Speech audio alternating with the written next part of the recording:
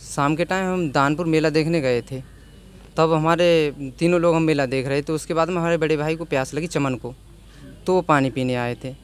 वहाँ पर सुमन राजेश और अवनीश वीर सिंह बैठे थे घात लगा के पहले उन्होंने चाकू मार दिया। उसी समय हमारे भाई की हत्या हो गई थी। उसके बाद में हमारा छोटा भाई सुभाष पहुँचा बचाने उनको उसे भी मार दिया। पैर में लगी उसके चोट। जरीब नगर थाना क्षेत्र में दानपुर से मेला देखकर लौट रहे आधेड़ चमन नामक व्यक्ति की पुरानी रंजिश को लेकर के चाकुओं से गोद करके हत्या कर दी गई। जिसमें चार लोग नामजद किए गए हैं। साक्ष्य के आधार पर उनके विरुद्ध कार्रवाई की जाएगी।